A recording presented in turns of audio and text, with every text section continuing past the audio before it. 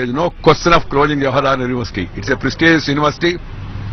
It will be strengthened further, but anti-national activities will not be allowed at all. It cannot be used uh, a platform for pro-Pakistani elements or secessionist elements. We are very clear about it. And as far the government is concerned, we are willing to discuss all these issues, whether it is Jawaharlal Nehru University or whether Hyderabad University, whether it is a Pathankot, whether it is Jat reservation, all these issues. They are not created by this government. We inherited some of these problems. Ten students committed suicide in Hyderabad University.